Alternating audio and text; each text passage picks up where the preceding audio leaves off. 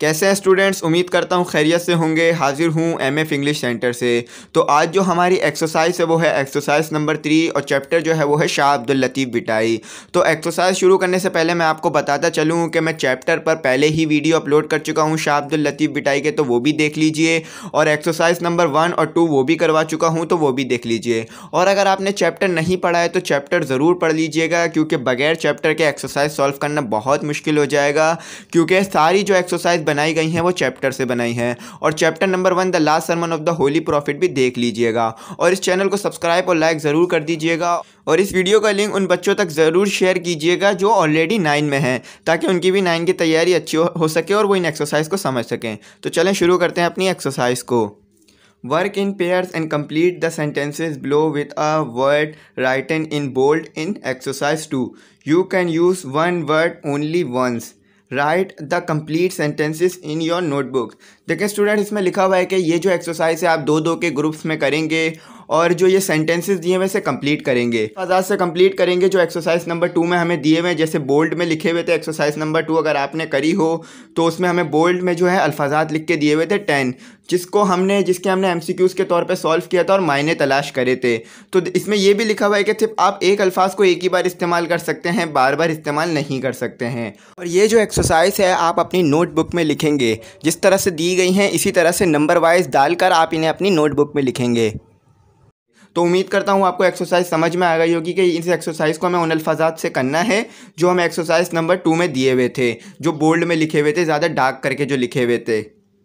तो स्टूडेंट यहाँ पर जो हमें पहली ब्लैंक्स दिए हुए वो ये दिए हुए the dash of Shah Bhitai celebrate his urs every year इसमें कहा जा रहा है कि कौन जो है, शाह अब्दुल लतीफ़ बिटाई का जो है उर्स जो है हर साल बनाते हैं।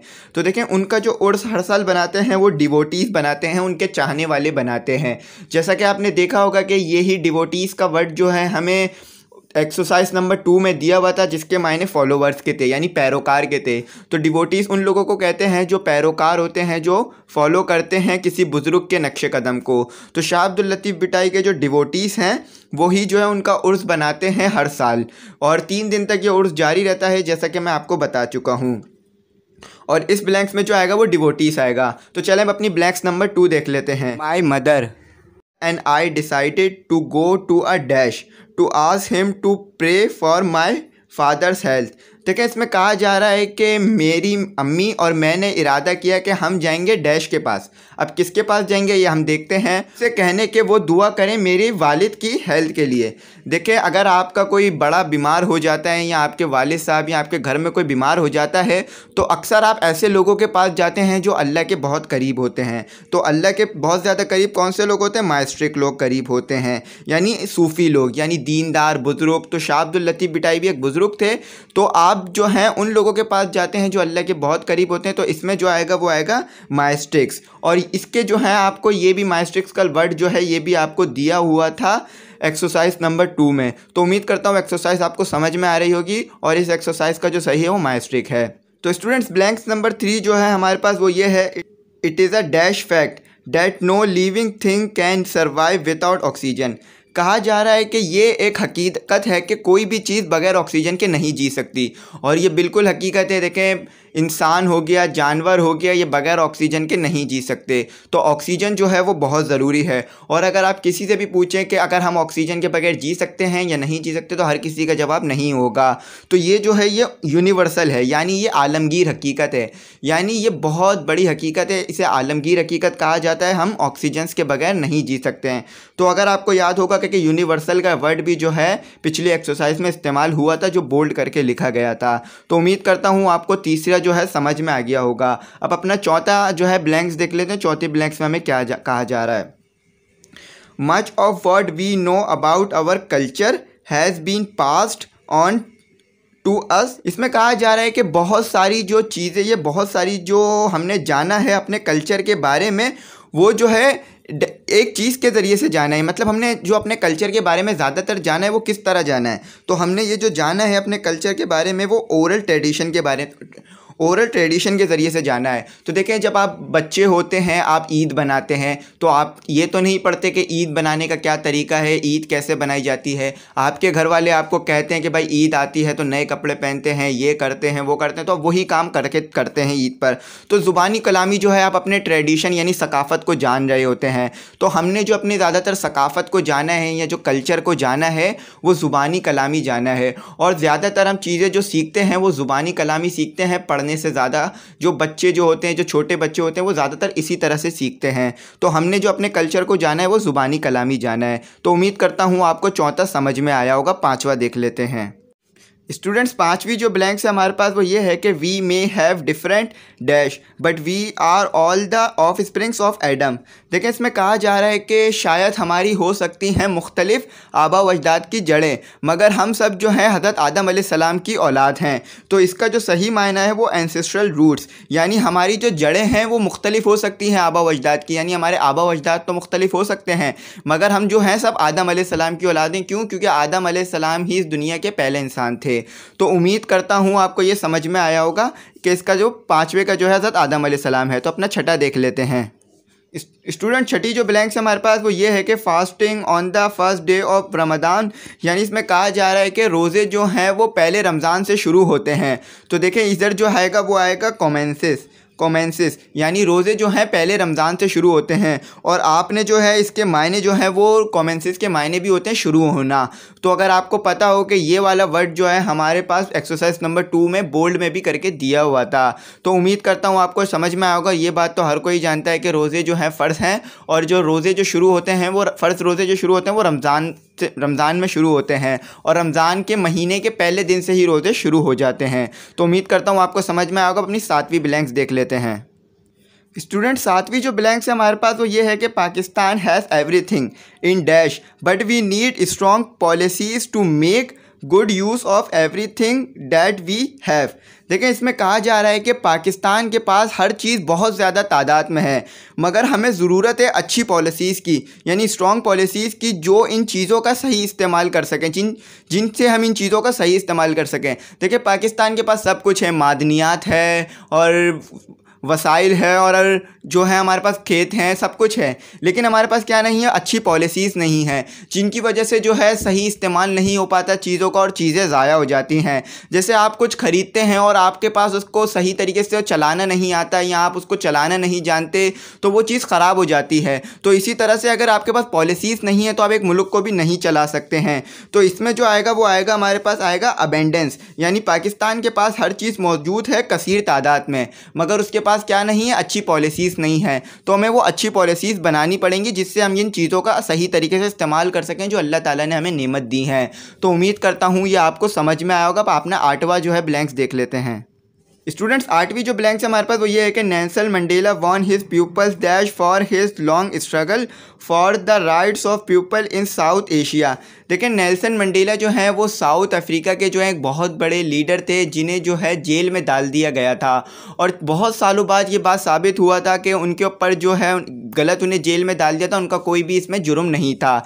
तो देखें नेल्सन मंडेला ने जो है इतने साल जेल में रहकर और फिर भी लोगों की बात कर कर कर, उन लोगों के दिल जीत लिए थे। यानी लोगों के दिल में उनके लिए रिस्पेक्ट बढ़ गई थी और उनके लिए, उनकी तारीफ़ बढ़ गई थी उनके लिए लोगों के दिलों में। तो लोगों ने, लोगों के उन्होंने दिल जीत लिए थे जेल में रहकर और उनके लिए स्ट्रगल कर कर। स्टूडेंट इसमें जो आएगा वो आएगा रेफरेंस यानी लोगों के दिलों में उनके लिए रिस्पेक्ट बढ़ गई थी और उनकी तारीफ़ बढ़ गई थी। क्यों? क्योंकि उन्होंने इतने साल जेल में रहकर भी उनकी, लोगों की बात करना नहीं छोड़ी और हमेशा लोगों के लिए स्ट्रगल करते रहे और जिससे लोगों को हुकूक हासिल हुए। तो उम्मीद करता हूँ ये आपको आठवीं ब्लैंक समझ में आई होगी। अब अपनी नवी ब्लैंक्स देख लेते हैं।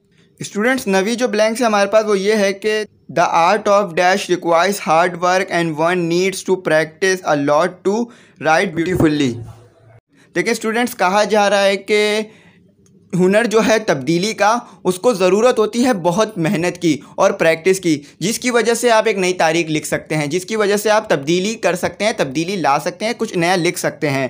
तो इसमें जो आएगा, वो आएगा रेस्टलेस यानी जब तक आप किसी चीज़ को तब्दील करना चाहते हैं तो आपको बहुत मेहनत करनी पड़ेगी। जैसे कोई बुराई माशरे में है, अगर आप उसे तब्दील करना चाहते हैं तो आपको बहुत ज़्यादा मेहनत करनी पड़ेगी, जिसकी वजह से माशरे में तब्दीली आएगी। फिर जब आपकी मेहनत सफल हो जाएगी, यानी कामयाब हो जाएगी तो तब्दीली सामने आपको नज़र आने लगेगी और चेंज आएगा। तो मेहनत जो है वो चेंज से ही, जो चेंज जो है वो मेहनत से ही आती है। तो उम्मीद करता हूँ आपको ये समझ में आएगा अपना दसवा एम देख लेते हैं।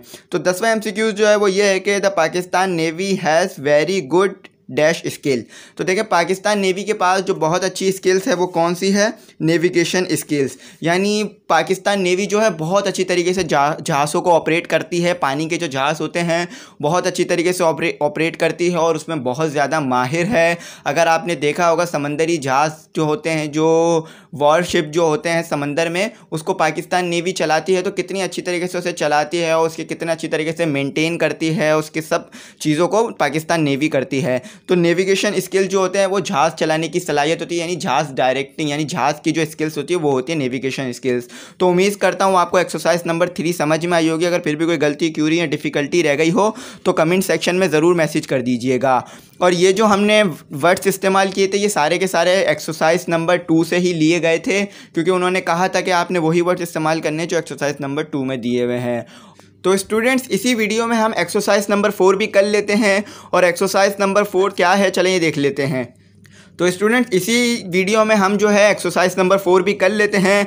एक्सरसाइज नंबर फोर जो है, वो पूरी की पूरी जो है शाब्दुल लतीफ़ बिटाई के एस्पेक्ट से रिलेट करती है। अगर आपने एक एक एस्पेक्ट को पूरी पूरी तरह पढ़ा होगा, जब भी आप ये सॉल्व कर सकेंगे, वरना नहीं कर सकेंगे। और मैं आपको बताता चलूँ कि ये एक्सरसाइज बहुत ज़्यादा इंपॉर्टेंट है और इन्हीं एक्सरसाइज से जो है पेपर आएगा। तो अगर आपने ये एक्सरसाइज नहीं करी होगी तो इंग्लिश का पेपर पास करना बहुत ज़्यादा मुश्किल हो सकता है। तो चलें, ये एक्सरसाइज पढ़ते हैं। इस एक्सरसाइज में हमें क्या इंस्ट्रक्शन दी हुई और हमें क्या करना है। रीडिंग टेस्ट है has seven aspect that relate to Shah Latif the following sentences state one key point covered under each aspect however these sentences are in a jumbled up order read the text and write the aspect number in the blanks provided the last one has been done for you as an example देखिए, कहा जा रहा है कि ये जो sentences हैं, ये एस्पेक्ट से रिलेट करते हैं जो हमें टैक्स में दिए हुए थे। तो तो कह रहे हैं कि इन सेंटेंसेस को पढ़िए और सेंटेंसेस को पढ़ के बताइए कि, कि ये सेंटेंस कौन से एस्पेक्ट से दिया गया है आपको? और इनको जो है इनका सही नंबर लिखिए यानी इन्हें जम्बल्ड ऑर्डर में करिए इनका ऑर्डर सही करिए। और जो है एस्पेक्ट का जो है आपने नंबर कहाँ लिखना है? यहाँ लिखना है ये जो आपको ब्लैंक्स दी हुई है यहाँ पर आपने एक्सपेक्ट का नंबर लिखना है। और देखें आखिरी वाली जो है वो आपके लिए एज एन एग्ज़ाम्पल इन्होंने कर दी है। तो इसका जो लिखा गया ये लिखा गया he is he is called Bhitai because he spend a good part of his life on a mount देखिए, आपको पता होगा कि द नेम बिठाई जो है हमारे पास सेकेंड एस्पेक्ट था और इसमें भी हमें नेम बिठाई से ही ये सेंटेंस दिया गया है और उसी के मुतालिक इधर कहा जा रहा है। तो उम्मीद करता हूँ आपको समझ में आ गया होगा। बस बहुत ईजी है। आपने जो है सेंटेंस पढ़ना है और ये बताना है कि ये सेंटेंस कौन से एस्पेक्ट से आया है और जिस एस्पेक्ट से आया है, उसे यहाँ पर लिख देना है। पहला जो सेंटेंस है हमारे पास, वो ये है कि he found pleasure in praying thinking and devotion देखें स्टूडेंट्स ये वाला जो सेंटेंस है, वो पाँचवें एस्पेक्ट से आया है। जो था हमारे पास स्पिरिचुअल ग्रोथ यानी अगर आपने वाला एस्पेक्ट पढ़ा हो तो उसमें आपको पता होगा कि उसमें हमें बताया गया था कि शाह अब्दुल लतीफ़ बिटाई ने ढूंढ लिया था खुशी इबादत में और गहरी सोचों में और पोइट्री में पोइट्री लिखने में। तो आपको अगर ये आपने एस्पेक्ट पढ़ा होगा तो आपको ये वाला जो है सेंटेंस समझ में आ गया कि कौन से एस्पेक्ट से आया है। तो स्टूडेंट्स ये जो है हमारे पास पाँचवें से आया उम्मीद करता हूँ आपको समझ में आ गया होगा। अपना दूसरा देख लेते हैं दूसरा सेंटेंस कौन से एस्पेक्ट से आया है? He was married for a short period of time only देखें, इसमें कहा जा रहा है कि शाह अब्दुल लतीफ़ बिटाई ने शादी की थी बहुत छोटे टाइम के लिए। यानी उन्होंने ज़्यादा अपनी ज़िंदगी जो है, शादीशुदा ज़िंदगी नहीं गुजारी थी। जैसे होता है ना कि कोई शादी करता है, पचास साल, तीस साल, चालीस साल की जो है, शादीशुदा ज़िंदगी गुजार लेता है। लेकिन उन्होंने ऐसा नहीं किया था। वो जो थे माउंट पर चले गए थे अकेले रहने के लिए तो उन्होंने ज़्यादा अपनी शादीशुदा ज़िंदगी नहीं गुजारी थी। तो स्टूडेंट्स अब हमें देखना है कि ये कौन से एस्पेक्ट से आया था। तो हमें शाह अब्दुल लतीफ़ बिटाई की शादी के बारे में एक ही एस्पेक्ट में बताया गया था और वो एस्पेक्ट था उन यूथ यानी वो एस्पेक्ट था हमारे पास फोर्थ एस्पेक्ट तो ये जो है सेंटेंस हमारे पास आया है, वो फोर्थ एस्पेक्ट से आया है। तो उम्मीद करता हूँ आपको ये समझ में आ गया होगा और आप पहचान गए होंगे कि ये कौन से एस्पेक्ट से आया है। तो चलें, अब अपना तीसरा देख लेते हैं, तीसरा सेंटेंस किस एस्पेक्ट से दिया गया है। तो स्टूडेंट तीसरा जो सेंटेंस है हमारे पास वो ये है कि Shah Latif forefather migrate to Sindh from Afghanistan देखें स्टूडेंट इसमें कहा जा रहा है कि शाह अब्दुल लतीफ़ बिटाई के आबा अजदाद जो हैं, उन्होंने हिजरत की थी सिंध अफ़गानिस्तान से। तो अब ये देखना है कि हमें ये कौन से एस्पेक्ट से आया। तो इससे पहले मैं आपको ये बताता चलूँ कि फॉर फादर जो है, उसके मायने होते हैं आबा वजदाद। इतनी देर से आप आबा वजदाद के लिए एनसिस्टर का लफ्ज़ बार बार यूज़ कर रहे थे। लेकिन अब यहाँ पर जो लफ्ज़ यूज़ करा गया है, वो आबा वजदाद के लिए फॉर फॉर फादर यूज़ किया गया है एनसिस्टर नहीं यूज़ किया गया है। तो ज़्यादा मत घबराइएगा। तो अब आपने ये देखना है कि ये एस्पेक्ट कौन से तो अब आपने देखना है कि ये सेंटेंस कौन से एस्पेक्ट से आया है। तो बहुत इजी है, ये सेंटेंस जो है पहले एस्पेक्ट से आया है, क्योंकि पहले एस्पेक्ट में ही हमें बताया गया था शाह अब्दुल लतीफ़ बिटाई के एंसेस्टर्स के बारे में, और वो कहाँ से माइग्रेट कर कर आए इस बारे में। तो उम्मीद करता हूँ आप लोग ये समझ गए होंगे कि पहले एस्पेक्ट से ये आया है। तो अब अपना चौथा देख लेते हैं, चौथा सेंटेंस किस एस्पेक्ट से आया है। स्टूडेंट चौथा जो सेंटेंस है हमारे पास वो ये है कि a shrine was built over his grave some time after his death यानी इसमें कहा जा रहा है कि शाह अब्दुल लतीफ़ बिटाई के जो मज़ार है, शाह अब्दुल लतीफ़ बिटाई का जो मज़ार है, उनकी कबर पे बनाया गया कुछ टाइम बाद। यानी जब आपका इंतकाल हो गया तो पहले वहाँ पे आपकी कबर बना दी गई। उसके कुछ टाइम बाद जो है मज़ार बनाया। तो मज़ार जो है एक सिंधी बादशाह ने बनाया था, गुलाम शाह कलेड़ो। तो जिसके बारे में हम पढ़ चुके हैं। तो अब मैंने नाम ले दिया है, एस्पेक्ट का नाम तो नहीं लिया, लेकिन बादशाह का नाम ले दिया है कि बादशाह ने कब मज़ार बनाया था। और बादशाह का जो ज़िक्र है, सिर्फ़ एक ही एस्पेक्ट में आया था, वो किसमें आया था? Aspect number six that and remembers तो इसका जो आंसर है वो है सिक्स तो उम्मीद करता हूँ ये आपको समझ में आया होगा। अगर फिर भी आपने अभी तक वो वीडियो नहीं देखी है जिसमें मैंने चैप्टर पढ़ाया था तो वो वीडियो ज़रूर देख लीजिएगा ताकि आपका बहुत ईजी हो जाए इन एस्पेक्ट्स को समझने में और सेंटेंस को समझने में। तो स्टूडेंट्स पांचवा जो सेंटेंस है हमारे पास, वो ये है कि his poetry is mainly about Sindh but of place are also mention देखें, ये इसमें कहा जा रहा है कि शाह लतीफ़ बिटाई की जो पोइट्री थी, वो तो बुनियादी तौर पर सिंध पर थी। लेकिन इसमें जो है, दूसरी जगहों के शहरों के नाम भी इस्तेमाल किए गए थे। दूसरी जगह के, जगहों के यानी प्लेस के नाम भी इस्तेमाल किए गए थे। तो देखें, ये जो है, हमें सिर्फ़ एक ही एस्पेक्ट में बताया गया था, और वो था एस्पेक्ट नंबर सेवन जिसमें हमें नेविगेशन यानी जहाज़ के बारे में बताया गया था, और शाह लतीफ़ बिटाई की पोइट्री के बारे में बताया गया था। तो उम्मीद करता हूँ, ये वाला सेंटेंस सेंटेंस आपको समझ में आ गया होगा। अगर फिर भी कोई क्यूरीज गलती या डिफ़िकल्टी रह गई हो तो कमेंट सेक्शन में ज़रूर मैसेज कर दीजिएगा रिप्लाई करूँगा। He love studying and had a command over other languages देखिए, इसमें कहा जा रहा है कि आप जो थे, पढ़ने से बहुत ज़्यादा लगाव रखते थे और आप जो थे, एक सेल्फ़ एजुकेटेड भी थे और आपने जो फरमाया है, वो मुख्तलिफ़ लैंग्वेजेस में फ़रमाया है। यानी शाह अब्दुल लतीफ़ बिटाई जो है, वो दूसरी अल्फाजों को भी, दूसरी जो ज़ुबानें थी, उनको भी जानते थे और आप जो थे, तालीम से बहुत ज़्यादा मोहब्बत करते थे। तो इसीलिए भी उनके बारे में हमें इन बुकों में पढ़ाया जाता है, क्योंकि आप तालीम से बहुत ज़्यादा लगाव रखते थे। और शाह अब्दुल लतीफ़ बिटाई जो थे, वो सेल्फ़ एजुकेटेड भी थे।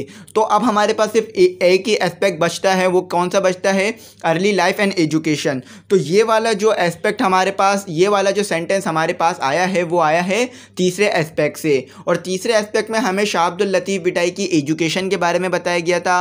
और शाह अब्दुल लतीफ़ बिटाई के बारे में बताया गया था कि शाह अब्दुल लतीफ़ बिटाई के उस्ताद कौन थे? और शाह अब्दुल लतीफ़ बिटाई जो थे सेल्फ़ एजुकेटेड थे। यानी उन्होंने ख़ुद से ज़्यादातर तालीम हासिल की थी और कुरान में और हदीस में आप बहुत अच्छी माहिर थे। और आपकी जो है रिसाले में इस चीज़ की झलक मिलती है। तो उम्मीद करता हूँ आपको ये समझ में आया होगा। तो, तो इसका जो सही है एस्पेक्ट वो एक्सपेक्ट नंबर तीन है। ये सेंटेंस हमारे पास एक्सपेक्ट नंबर थ्री से आया है। तो उम्मीद करता हूँ ये आपको समझ में आया होगा। अब अपना आखिरी एस्पेक्ट देख लेते हैं जो हमें एज एन एग्ज़ाम्पल भी दिया हुआ था। फिर भी मैं थोड़ा सा एक्सप्लेन कर देता हूँ आपको उसे। स्टूडेंट सेंटेंस नंबर सेवन जो है वो ये है कि he is called Bhitai because he is spend a good pass of his life on a mount देखिए, इसमें कहा जा रहा है कि आपको जो है भिटाई कहा जाता था क्योंकि आपने अच्छा वक्त गुजारा है माउंट पर। यानी आपको बिटाई इसलिए कहा जाता था कि आप एक माउंट पर रहते थे। और सिंधी में जो है माउंट को जो है वो भिट कहा जाता है। तो इसलिए आपको भिटाई कहा जाता था, इसीलिए आपका नाम जो है भिटाई पड़ गया था। तो इसीलिए जो है इस सेंटेंस का जो राइट एस्पेक्ट है वो है टू तो ये जो सेंटेंस लिया गया है, वो एस्पेक्ट नंबर टू से लिया गया है। देखें, ये वर्ड टू वर्ड सेंटेंस नहीं लिए गए हैं। लेकिन अगर आप इन्हें पढ़ेंगे तो इन सेंटेंस में वही बात की जा रही है, जो मुख्तलिफ़ एस्पेक्ट में की जा रही थी। जैसे बिटाई के बारे में जो बात की गई थी, वो सिर्फ़ एस्पेक्ट नंबर टू में की गई थी, और किसी में भी नहीं की गई थी कि आपका नाम बिटाई क्यों पड़ा। तो उम्मीद करता हूँ आपको ये एक्सरसाइज समझ में आई होगी, पूरा ब्रीफ डिस्क्रिप्शन दिया है, फिर भी कोई गलती क्यूरी या डिफ़िकल्टी रह गई हो तो कमेंट सेक्शन में ज़रूर मैसेज कर दीजिएगा।